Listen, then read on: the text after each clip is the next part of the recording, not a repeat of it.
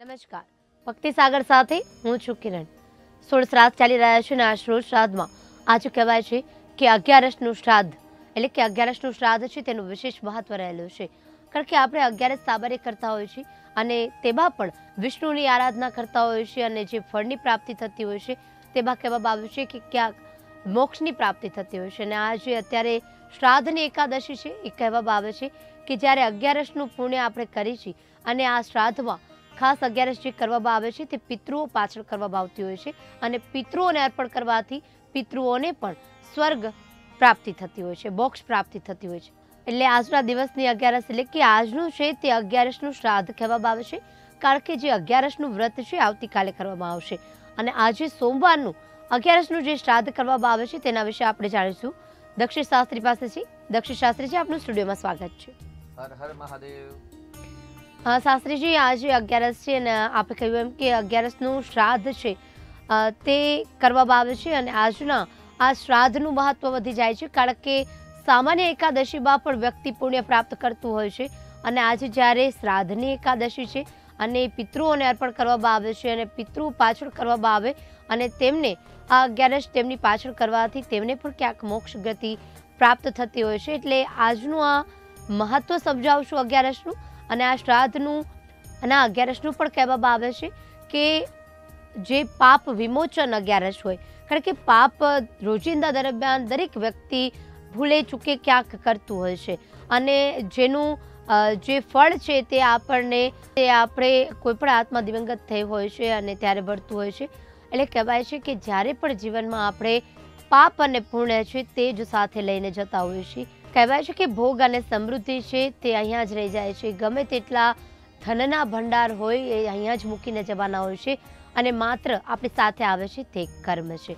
ત્યારે શાસ્ત્રીજી, આપણે જે રોજિંદા દરમિયાન પાપ ભૂલી ચૂકે પણ થઈ જતા હોય છે અને આજના દિવસે કઈ રીતની આ શ્રાદ્ધનું વિધિ કરવી?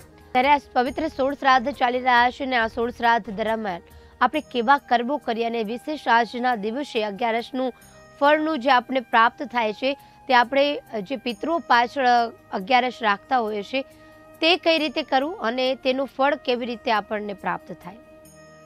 નમસ્કાર, હર હર મહાદેવ. પાપોહમ પાપકર્માહમ પાપાત્મમ પાપ સંભવમ ત્ર્યાહી મામ પુંડરીકાક્ષ સર્વ પાપ હરો હરિ શ્રાદ્ધમાં આપણે પહેલા જ દિવસે વાત કરી કે પુંડરીકાક્ષ, ભગવાન શ્રી હરિનારાયણનું એક નામ છે. પુંડરીકાક્ષ અને ભગવાન પુંડરીકાક્ષની કૃપાથી એટલે શ્રી હરિનારાયણની કૃપાથી તમામ પ્રકારના પાપ, શ્રાપ અને હાઈમાંથી મુક્તિ મળે છે. બંધનમાંથી મુક્તિ મળે છે. જે દુષ્કર્મ થયા છે દુષ્કર્મથી મુક્તિ મળે છે. એટલે આપણે આજે અગિયારસનું શ્રાદ્ધ છે. પરંતુ મંગળવારના દિવસે એકાદશીનું વ્રત કરવાનું છે. કેમ કે વ્રતનો નિયમ એવો છે કે ભાઈ ઉદયાત તિથિ જે હોય તે તિથિ જે વ્રત કરવું. એટલે આજે અગિયાર, એટલે સોમવારના દિવસે અગિયાર ત્રીસ કે બાર ત્રીસની આસપાસ એકાદશીનો પ્રારંભ થાય છે અને બીજા દિવસે, એટલે આવતીકાલે મંગળવારે પ્રાતઃ સૂર્યોદયકાલીન એકાદશી હોવાથી મંગળવારના દિવસે આ ઇન્દ્રાક્ષી, એટલે પિતૃશ્રાદ્ધની એકાદશીનું વ્રત કરવાનું હોય છે. પરંતુ એકાદશીનું શ્રાદ્ધ આજે કરવાનું છે સોમવારના દિવસે. એકાદશીનું શ્રાદ્ધ એટલે મધ્યાહનકાલીન. આપણે પહેલાં જ વાત કરી કે જે મધ્યાહનકાલીન તિથિ હોય અને મધ્યાહનકાલીન તિથિ જ્યારે ભોગવતા હોય અને મધ્યાહનકાલ સમયે પિતૃઓનું તર્પણ, માર્જન ઇત્યાદિ જો કરવામાં આવે, તો શ્રેષ્ઠ સમય છે. કેમ કે પિતૃલોકના જે દ્વાર ખુલે છે દ્વારમાંથી જ્યારે પિતૃ આવે, મૃત્યુલોકમાં પોતાના સ્વજનના ઘરે, એટલે ક્યાંક સમય લાગતો હોય છે. અને સંધ્યા પહેલાં એમને પિતૃલોકમાં પાછા જવાનું હોય, એટલે સમય લાગે. એટલે એ પ્રમાણે શાસ્ત્ર એવું કહે છે કે ભાઈ, મધ્યાહનકાલીન તિથિએ શ્રાદ્ધ કરવું. એટલે આપણે પહેલાં પણ જાણીએ કે ભાઈ અગિયારથી સાડા બારનો આસપાસનો જે સમય છે, એ સમય દરમિયાન બ્રહ્મ ભોજન કરાવવું, એ સમય બેન ભાણેજને જમાડવું, એ સમય જ કાગા વાસ નાખવો, એ સમય જ તર્પણ, માર્જન ઇત્યાદિ કરવું કે શ્રાદ્ધ કરવું, ત્રિપિંડી શ્રાદ્ધ કરવું, મહાલયા શ્રાદ્ધ કરવું, નાંદી શ્રાદ્ધ અથવા તો ઉર્ધ્વદૈહિક શ્રાદ્ધ ઇત્યાદિ કોઈ પણ શ્રાદ્ધ તમે એ ટાઈમે કરી શકો છો. એટલે એકાદશીનું શ્રાદ્ધ કરવાથી આજે જે અગિયારસના દિવસે જે પિતૃઓ દિવંગત થયા છે તમારા, તેમનું શ્રાદ્ધ આજે કરવાનું મહત્ત્વ છે. એકાદશીના આપણે જો ભાઈ બાર માસની ચોવીસ એકાદશી આવે અને આ માસની અંદર, આ વર્ષની અંદર બે એકાદશી વધારે હતી. કેમ કે આ વખતે અધિક માસ હતો. એટલે છવ્વીસ એકાદશી અને છવ્વીસે છવ્વીસ એકાદશીનું સમહત્વ એવું છે કે પાપ વિમોચની. એટલે જેટલા પ્રકારના જે વ્રતો છે ભાઈ એવું કહેવાય કે ભાઈ ચાતુર્માસનો પ્રારંભ થવો અને ચાતુર્માસ પૂર્ણ થવો, ત્યાં સુધી વ્રતો હોય છે. એટલે વ્રતની અંદર જેટલા પણ વ્રત છે, એ તમામ પ્રકારના વ્રતોમાંથી જો ઉત્તમમાં ઉત્તમ પ્રકારનું જો વ્રત હોય ને, તો એ વ્રત છે એકાદશીનું વ્રત. કેમ કે એકાદશીનું વ્રત કરવાથી સંપૂર્ણ પાપમાંથી મુક્તિ મળે છે, સંપૂર્ણ બંધનમાંથી મુક્તિ મળે છે. તમામ પ્રકારના વૈભવ પૃથ્વીલોકના જે વર્તમાનના વૈભવ છે, એ વૈભવ પ્રાપ્ત કરી અને અંતે મૃત્યુ પછી પણ નારાયણ એટલે મોક્ષની વૈકુંઠની પ્રાપ્તિ થતી હોય છે. એટલે એવું કહેવાય, ભાઈ ધન્ય એકાદશી, એકાદશીનું વ્રત કરીએ તો વૈકુંઠ પામીએ. એવા ભજન પણ છે. તો એકાદશીના વ્રત કરવાથી વૈકુંઠની પ્રાપ્તિ થાય છે. પરંતુ મૃત્યુ પહેલાં પણ જે ધન વૈભવ ઇત્યાદિ સુખ છે એ સુખની પ્રાપ્તિ થતી હોય છે. અને સાથે સાથે આપણે શ્રાવણ મહિનાની અંદર વાસ કરી કે તનમે મનઃ શિવ સંકલ્પમસ્તુ કે ભાઈ મારું મન સંકલ્પકારી એટલે કલ્યાણકારી થાય. મન એવા મનુષ્ય મનથી જે સમસ્યા અને મનના કારક દેવ છે ચંદ્ર. અને ચંદ્રની કલા પ્રમાણે પિતૃલોકના દ્વાર ખુલતા હોય અને પિતૃતર્પણ માટે જ્યારે પૃથ્વી પર આવતા હોય, ત્યારે મનથી સંકલ્પ કરે ભાઈ, આજે જે એકાદશીનું વ્રત છે, આ વ્રતનું ફળ જે છે, એ મારા પિતૃઓને પ્રાપ્ત થાય. એક પિતૃનું નામ બોલો કે ભાઈ, મારા દાદાને કે પરદાદાને, દાદીને પરદાદીને. કોઈ પણ પિતૃના નામે તમે સંકલ્પ કરી શકો છો, અથવા તો મારા સમસ્ત પિતૃઓના એકાદશીના વ્રતનું ફળ પ્રાપ્ત થાય, એવો સંકલ્પ કરીને જો એકાદશીનું વ્રત કરવામાં આવે તો એ ફળ સ્વરૂપ જે એકાદશીનું વ્રતનું જે ફળ છે એ તમારા પિતૃઓને પ્રાપ્ત થાય અને ફળ સ્વરૂપે એ પિતૃઓ ક્યાંક ને ક્યાંક અધોગતિમાં હોય છે, કે પૂ નામના નરકમાં હોય છે, કે ક્યાંક ને ક્યાંક એમને ત્યાં પીડા હોય છે, કે અન્ન જલની અતૃપ્તિ હોય છે તો એ આ વ્રતના તપના માધ્યમથી નારાયણની કૃપાથી એ તૃપ્ત થતા હોય છે અને એમના મનના સંકલ્પ પૂર્ણ થતા હોય છે. એટલે કે હવે તન્મે મનઃ શિવ સંકલ્પ શું? સંકલ્પ વગર સિદ્ધિ પ્રાપ્ત થતી નથી. હવે એકાદશીનું વ્રત પાપ વિમોચની એટલે આપણે વાત કરી કે ભાઈ ધર્મરાજ યુધિષ્ઠિરની વાત કરી, શ્રી કૃષ્ણ પરમાત્માની વાત કરી અને ભીષ્મ પિતામાની વાત કરી. એટલે ભીષ્મ પિતામહ અને યુધિષ્ઠિરનો જે સંવાદ થયો, જે મહાભારત યુદ્ધના કાળ સમય પછી અને તેમણે શ્રી હરિ નારાયણ વિષ્ણુને પ્રસન્ન કરવા માટે વિષ્ણુ સહસ્ત્રનો ઉપદેશ આપ્યો.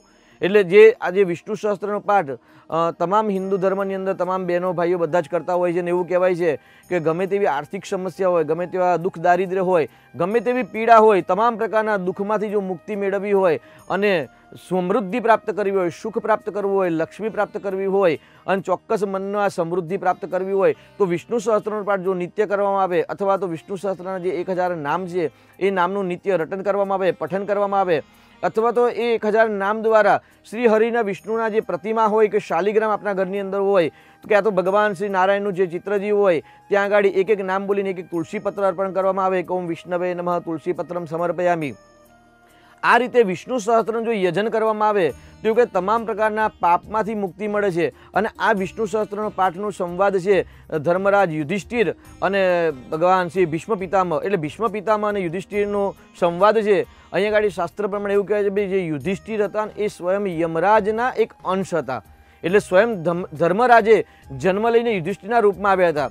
અને યમલોકના જે માલિક કહેવાય કે ભાઈ યમ અત્યારે જે પિતૃઓ છે અને પિતૃઓને જે મુક્તિ આપી અને પૃથ્વી પર જે મોકલવામાં આવે છે, એ પણ યમરાજાની યાજ્ઞાથી આવે છે. એટલે યમરાજાનું બીજું નામ છે ધર્મરાજ. અને ધર્મરાજને યુધિષ્ઠિર જે અંશ હતા, યમરાજાના એટલે ધર્મરાજના અંશ હતા. અને એ યુધિષ્ઠિર ધર્મરાજ યુધિષ્ઠિરનો સંવાદ અને ભીષ્મનો સંવાદ છે જે વિષ્ણુ સહસ્ત્ર નામ એ વિષ્ણુ સહસ્ત્ર નામ પાઠ કરવાથી તમામ પ્રકારના પાપોહમ, પાપ કર્માહમ, પાપાત્મમ પાપ સંભવમ.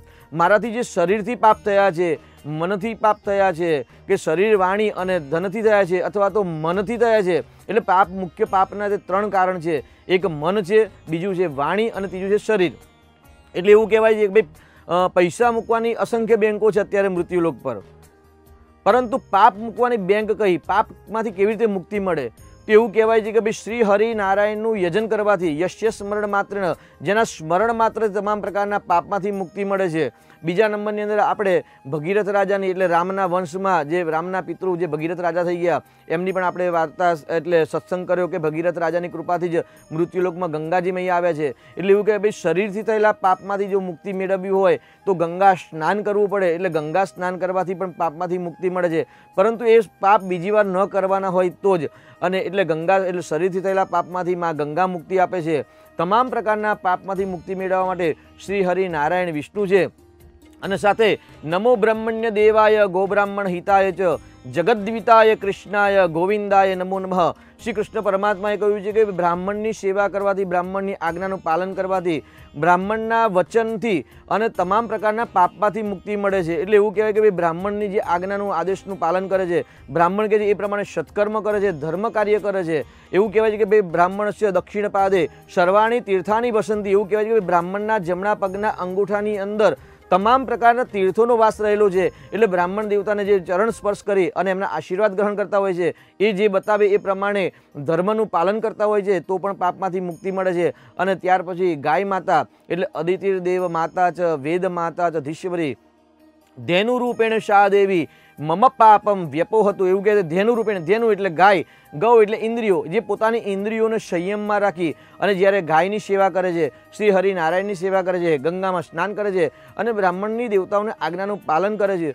અને વિષ્ણુ સહસ્ત્રનું જે યજન કરે છે, તે તમામ પાપમાંથી મુક્તિ મળે છે, તમામ બંધનમાંથી મુક્તિ મળે છે. જે ધનની ઈચ્છા કરતા હોય, એમને ધન સમૃદ્ધિ મળે છે. પુત્રની ઈચ્છાવાળા પુત્રની પ્રાપ્ત થાય છે. જેમને બિઝનેસ વ્યવસાયની અંદર ઉન્નતિ કરવી છે, તો એમાં પણ પ્રાપ્ત, સફળતા પ્રાપ્ત થાય છે. ત્યાર પછી જે લોકો કોઈ બિઝનેસ કરી રહ્યા છે, મોટી ફેક્ટરી ઇત્યાદિ કરી રહ્યા છે, તો એમાં પણ વિષ્ણુ સહસ્ત્રના યજનથી તમામ પ્રકારની સમૃદ્ધિ પ્રાપ્ત થાય છે અને પાપમાંથી મુક્તિ મળે છે. અને જો સંકલ્પ કર્યો હોય કે ભાઈ આ એકાદશીના વ્રતનું ફલ અથવા તો આ વિષ્ણુ સહસ્ત્રના પાઠનું ફલ મારા પિતૃને આપું છું તો એનાથી પિતૃઓને પણ ઉત્તમ ગતિ પ્રાપ્ત થાય છે. અને પૂ નામનો નરક, એટલે એવું કહેવાય છે કે ભાઈ, જ્યારે માણસે જીવતા અસંખ્ય દુષ્કર્મ કર્યા હોય ને, ત્યારે એમને મૃત્યુ પછી યમયાતના ભોગવવી પડે છે. અને યમયાતના એટલે પૂ નામના નરક, એટલે પૂ નામના નરકમાંથી સંતાન એમને તારે છે. તો વિષ્ણુ સહસ્ત્રના પાઠ, એકાદશીના વ્રતનું ફલ જો પિતૃને અર્પણ કરવામાં આવે, તો પણ પિતૃઓ રાજી થાય છે. એમને વૈકુંઠની પ્રાપ્તિ થાય છે. અને તેમના આશીર્વાદ દ્વારા જ લક્ષ્મી, ધન સમૃદ્ધિ, સુખ શાંતિની પ્રાપ્તિ થતી હોય છે. જી. એટલે શાસ્ત્રીજી આપે જણાવ્યું કે આજે જે પિતૃ શ્રાદ્ધમાં અત્યારે એકાદશી આવે છે, અત્યારે જે શ્રાદ્ધની એકાદશી કહેવાય છે, તે આજે સોમવારે કરવાની છે અને આવતીકાલે છે તે વ્રતની એકાદશી છે. એટલે કે જ્યારે પિતૃ અને મોક્ષની પ્રાપ્તિ થાય તેનામાં પાછળ જે એકાદશી કરવામાં આવે છે તે આજની એકાદશી છે. અને આજની એકાદશીમાં ખાસ શાસ્ત્રીજીએ જણાવ્યું કે જ્યારે વિષ્ણુનું સ્મરણ કરવાથી વિષ્ણુ તમામ પ્રકારના જે બંધનો છે, પાપો છે, તેમાંથી મુક્તિ આપતા હોય છે. અને આજની અગિયારસ આપણે કોઈ પણ, એટલે કે આપણે જેને પણ અર્પણ કરીએ છીએ, પિતૃ પાછળ અર્પણ કરીએ છીએ, તો પિતૃને પણ ક્યાંક મોક્ષની પ્રાપ્તિ થાય છે, સ્વર્ગની ગતિ મળતી હોય છે. ત્યારે આજની અગિયારસનું વિશેષ મહત્વ હોય છે. શાસ્ત્રીજી, આપે જણાવ્યું? આપણી પાસે એ જાણવા માગીશ કે આજની જે એકાદશી છે તે તેની સાથે વ્રત કરવાનું અને આવતીકાલે એકાદશી છે, તેમાં પણ વ્રત કરવાનું હોય છે ને વ્રત જે કરવાનું હોય છે, સામાન્ય રીતે આપણે અગિયારસમાં જે છે તે અનાજ નથી લેતા હોતા અને ફ્રૂટ અને દૂધ અને જે પ્રવાહી છે તેના પર કરતા હોઈએ છીએ. તો આજની આ એકાદશીમાં ખાસ કઈ રીતે કરવાની આવશે? જે આપણે એક સમય પૂરું ભોજન લેતા હોઈએ છીએ તે રીતની કરવાની હોય છે કે શ્રદ્ધા ભાવથી જે આપણે ફ્રૂટ આરોગતા હોઈએ છીએ તેવી રીતે કરવાની હોય છે તે પણ જણાવી દેશો. આજે સોમવારનો દિવસ અને આશ્લેષા નક્ષત્રનો સમન્વય. એટલે આશ્લેષા નક્ષત્રના માલિક સર્પ છે. એટલે આજે જો શ્રાદ્ધ કરો છો, તો આપણે વાત કરીએ એ પ્રમાણે કે ભાઈ ચંદ્રની કલા ખીલે છે અને ચંદ્રનો પદાર્થ છે. એટલે દૂધપાક માલપુવા લાડુ ઇત્યાદિ કરીને એક ટાઈમ ભોજન કરીને કે બે ટાઈમ ભોજન કરીને. પરંતુ શ્રાદ્ધ કર્યા વગર એટલે એવું કે જ્યારે શ્રાદ્ધનો દિવસ હોય, કોઈ પિતૃની તિથિ હોય અને એ દિવસે આપણા ઘરે જો શ્રાદ્ધ હોય ને, તો એવું કહે છે ભાઈ શ્રાદ્ધના દિવસે કાગડાને વાસ નાખ્યા વગર, ગાયને ખવડાવ્યા વગર કે કૂતરાને ખવડાવ્યા વગર, કે જો બ્રહ્મ ભોજન હોય, તો બ્રહ્મ ભોજન ના થાય, ત્યાં સુધી કોઈ ઘરના કોઈ વ્યક્તિએ અન્ન લેવાનું નથી હોતું. એટલે શ્રાદ્ધનો આટલો જ મહિમા છે કે જ્યારે આપણા ત્યાં શ્રાદ્ધ હોય ને, ત્યારે શ્રાદ્ધ અર્પણ કર્યા વગર, એટલે અર્પણ, તર્પણ અને સમર્પણ, એટલે અર્પણ કર્યા વગર ક્યારે અન્ન લેવું નહીં. આજે આશ્લેષા નક્ષત્ર છે ને આશ્લેષા નક્ષત્રના સ્વામી છે ને સર્પદેવ છે.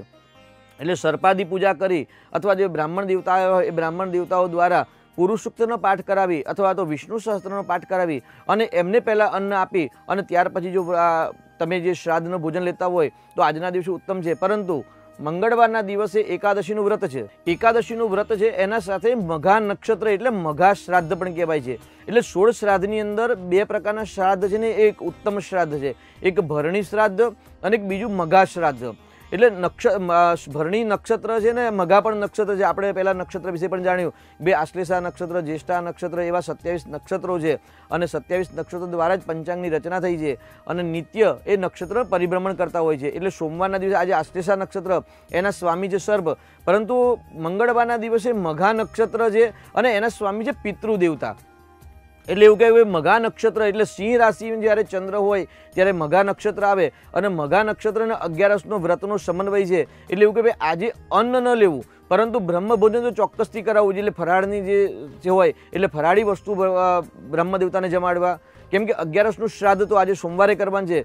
પણ બારસ એટલે બારસનું શ્રાદ્ધ બુધવારે કરવાનું, પરંતુ મંગળવારના દિવસે એકાદશીનું વ્રત કરવાનું છે, એટલે એકાદશીના વ્રતમાં જે ફલાહાર જે ગ્રહણ કરતા હોય, એ ફરાળ જ ગ્રહણ કરવાનું છે, ત્યાં અન્ન ગ્રહણ કરવાનું નથી. અને જો બ્રહ્મ ભોજન કરાવો, તો પણ ત્યાં ગાડી અન્નનું દાન તો કરવાનું નથી. એ અન્નનું દાન બુધવારના દિવસે જ કરવાનું. અને આજે મઘા નક્ષત્ર છે, એટલે એવું કહેવાય કે ભાઈ ત્રણ પ્રકારના પિતૃઓ છે. એક પ્રકારના પિતૃ છે, એક તો માતૃપક્ષ, પિતૃપક્ષ અને શ્વસુર પક્ષ. એટલે ત્રણે ત્રણ પક્ષના પિતૃઓનો તમારા પર જ્યારે હક લાગતો હોય, તેવું કંઈ જે માતૃપક્ષ છે, એટલે શરીર બે પ્રકારે બને. એક માતૃપક્ષ છે અને પિતૃપક્ષ છે. એટલે માતૃપક્ષના જે પિતૃઓ છે, નાના નાની, એમના પિતા એમના પિતા સપત્ની સાથે. એટલે જે મોસાળ પક્ષના જે પિતૃઓ છે અને મઘા નક્ષત્ર સમન્વય હોય, તો જ આજે મોસા મોસાળના પક્ષના પિતૃઓ પાછળ જો આજે કંઈ દાન કરવામાં આવે, જપ કરવામાં આવે, તપ કરવામાં આવે, અથવા તો બ્રહ્મ ભોજન કરવામાં આવે અને સંકલ્પ કરવામાં આવે કે, ભાઈ, મારા મમ્મીના માતા પિતા એમના પિતા એમના પિતા, જે દિવંગત થયા છે તેમને જ.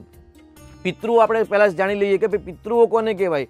ભાઈ, જે દિવંગત થયા છે, એને જ પિતૃ કહેવાય. જે હયાત છે ને એને પિતૃ કહેવાતા નથી. એટલે આપણે શ્રાદ્ધના દિવસે આટલા બધા દિવસ જે સત્સંગ કર્યો, એમાં જે પિતૃ શબ્દ વાપર્યો છે, પિતૃ શબ્દ કેવલ ને કેવલ જે દિવંગત થયા છે, એ આત્માઓ માટે છે. જો આપના માતા પિતા હયાત હોય, તો તેમના માટે આ શબ્દ નથી. એટલે જે હયાત નથી એને પિતૃ કહેવાય. એટલે મોસાળ પક્ષના પિતૃઓ પાછળ પણ જો આજે એટલે આવતીકાલે મંગળવારના દિવસે સંકલ્પ કરી અને બ્રહ્મ ભોજન કરવામાં આવે, તો ચોક્કસથી પિતૃઓને ઉત્તમ ગતિ પ્રાપ્ત થાય છે અને એમના આશીર્વાદ પ્રાપ્ત થાય છે. એટલે એકાદશીના વ્રતના દિવસે અન્નનું દાન પણ નથી કરવાનું અને અન્ન ગ્રહણ પણ નથી કરવાનું. પણ તે જ અન્ન એક દિવસનું આપણા ઘરના જે પાંચ સભ્યો હોય કે સાત સભ્યો હોય અને જે પરિવાર જેટલું અન્ન જમી શકતા હોય, એ બધા જ અન્નનું દ્વાદશીના દિવસે એટલે બુધવારના દિવસે એ અન્નનું દાન કરવું, તો એક ઉત્તમ એકાદશીનું સંપૂર્ણ ફલ પ્રાપ્ત થાય છે. કેમ કે કહ્યું છે કે ભાઈ દશમના આરંભથી એકાદશી અને દ્વાદશીના દિવસે એટલે વ્રતનો નિયમ છે કે ભાઈ એ દશમીના દિવસે આરંભ કરી દેવો, એકાદશીના દિવસે વ્રત કરવું અને દ્વાદશીના દિવસે પારણા કરવા. તો આ રીતે વ્રત કરી અને સોમવાર અને મંગળવારનું વ્રત કરવાથી સવિશેષ ફળની પ્રાપ્તિ થતી હોય છે. શાસ્ત્રીજી, આપે જણાવ્યું કે જે રીતે વિષ્ણુનું સ્મરણ કરવાનું, આ સાથે ગંગા સ્નાન કરવાથી તમામ જે છે તે પાપમાંથી મુક્તિ મળતી હોય છે. આ સાથે એ જણાવશો કે આજના દિવસે એટલે કે જે પાપમાંથી મુક્તિ મળે પિતૃઓને અને આ સાથે જીવનમાં જે કંઈ આપણે પાપ કરતા હોઈએ છીએ તેમાંથી કઈ રીતના કર્મ કરી શકાય કે જેનાથી પાપમાંથી મુક્તિ મળે? નમોસ્ત્વનંતાય સહસ્ત્રમૂર્તય સહસ્ત્રપાદાક્ષ શિરોર્ભાવે સહસ્ત્ર નામને પુરુષાય શાસ્ત્રતે સહસ્ત્રકોટી યુગધારિણી નમઃ. આપણે એવું કે ભાઈ, યુગધારિણી નમઃ. તમામ પ્રકારના પાપમાંથી મુક્તિ મળે અને પાપમાંથી, શ્રાપમાંથી ને હાયમાંથી જો મુક્તિ મળે ને, તો જ સુખ સમૃદ્ધિની પ્રાપ્તિ થાય છે. દુઃખ છે, તો ચોક્કસ ક્યાંક પાપ છે અને સુખ છે, તો ચોક્કસ પુણ્યનો ઉદય થયો છે. એટલે જ્યાં સુધી પુણ્યનો ઉદય નથી થતો ત્યાં સુધી સુખ સમૃદ્ધિ પ્રાપ્તિ થતી નથી અને પુણ્યના ઉદય માટે પાપમાંથી મુક્તિ મેળવવી પડે અને પાપમાંથી મુક્તિ આપનારા આપણે વાત કરીએ પ્રમાણે કે ભાઈ પતિત પામીની ગંગા મૈયા ગંગામાં સ્નાન કરવાથી મુક્તિ મળે. હરિભાગી રથી ગંગા. હરિ હરિ એટલે શ્રી હરિ નારાયણ વિષ્ણુનું યજન કે નવમસ્વનંતાય સહસ્ત્રમૂર્તય. કારણ કે યુગધારિણી નમ. શ્રી કૃષ્ણ ભગવાને યુગધારણ એટલે મહાભારત યુદ્ધની અંદર પણ એમણે વિરાટ સ્વરૂપ ધારણ કરેલું. વિરાટ સ્વરૂપ એટલે યુગ કૃષ્ણ ભગવાનને એક યુગ પુરુષ પણ કહેવાય છે કે ભાઈ યદા યદા હિ ધર્મસ્ય ગ્લાનિર્ભવતી ભારત. જ્યારે જ્યારે અધર્મની સ્થાપના થશે ને ત્યારે અધર્મનો નાશ કરવી અને ધર્મની સ્થાપના કરવા માટે હું યુગ પુરુષ તરીકે હું જન્મ લઈશ. એટલે આ રીતે શ્રી કૃષ્ણ પરમાત્માએ મૃત્યુલોક પર જન્મ લીધો અને વિરાટ સ્વરૂપ ધારણ કરી, વિરાટ સ્વરૂપના દર્શન કરાવ્યા અને ત્યારે કહ્યું કે પાપોહમ પાપ કર્માહમ તમામ પ્રકારના પાપમાંથી મુક્તિ મળ્યા વગર ક્યારેય પણ સુખ સમૃદ્ધિ લક્ષ્મીની પ્રાપ્તિ થતી નથી. તો એટલે શરીરથી થયેલા પાપ, વાણીથી થયેલા પાપ, મનથી થયેલા પાપ તેના સાથે બીજા એવા હેમાદ્રી નામના જે પ્રયોગ છે, એ પ્રયોગની અંદર કહેલું છે કે ભાઈ, ન જવાની જગ્યાએ ગયા હોય ને તો પણ પાપ લાગે. હરીર ભાગી, રથી પીપરા પછી ન ખાવાની વસ્તુ ખાધી હોય, ન પીવાની વસ્તુ પીધી હોય, શ્વાન ઉચ્ચિષ્ટ માર્જાર ઉચ્ચિષ્ટ એવું શાસ્ત્રમાં કહ્યું છે ભાઈ, શ્વાનનું સ્પર્શ થયેલું ક્યારેય ભોજન ગ્રહણ કરવું નહીં. અને ક્યારે માર્જાર એટલે બિલાડી, બિલાડીનું સ્પર્શ થયેલું ભોજન પણ ક્યારેય ગ્રહણ કરવું નહીં. એવું કહેવાય છે કે ભાઈ, જે ઘરની અંદર અન્નને જ્યારે કૂતરા કે બિલાડીનો જ્યારે સ્પર્શ થતો હોય ને, તો એ ઘરનું એ ઘરનું અન્ન કે એ ઘરનું શ્રાદ્ધ કે એ ઘરનું કોઈ પણ જે દાન જપ કરવામાં આવે છે, એ પિતૃઓ સ્વીકારતા હોતા નથી. એટલે ભાઈ, અત્યારે એક સામાન્ય દરેક ભાઈ કૂતરા પાડવાનો એક એક શોખ થઈ ગયો છે. તો દરેકના ઘરે કેટલા લોકો કૂતરા પાડતા હોય છે, બિલાડા પાડતા હોય. પરંતુ અન્નને જો કૂતરા કે બિલાડા સ્પર્શ કરે, એટલે શ્વાન ઉચ્ચિષ્ટ માર્જાર ઉચ્ચિષ્ટ પછી વડીલોની આજ્ઞાનો અનાદન કર્યો, અનાદર કર્યો હોય તો પણ એ પાપ લાગે છે. તો એવા અસંખ્ય જે પાપ છે, લઘુ ગુરુ, એટલે નાના અથવા મોટા, ગુરુની આજ્ઞાનું પાલન ન કર્યું હોય માતા પિતાની સેવા ન કરી હોય, વડીલોની સેવા ન કરી હોય, વડીલોની આજ્ઞાનું પાલન ન કર્યું હોય, સમાજની અંદર દુષ્કૃત્ય કર્યા હોય, દુષ્કર્મ કર્યા હોય ચોરી કરી હોય, તો આવા જે પાપો છે, એ પાપના કારણે માણસ દુઃખ ભોગવતા હોય છે. ક્યારેક ક્યારેક કંઈક સંકલ્પ કર્યો હોય કે ભાઈ મારું આટલું કાર્ય થશે, તો હે પરમાત્મા, હું આવું કાર્ય કરીશ. સામાન્ય દરેક બહેનો, મારો દીકરો જો દસમા ધોરણમાં પાસ થશે હું સત્યનારાયણની કથા કરાવીશ. આવા સંકલ્પ કરતા હોય છે.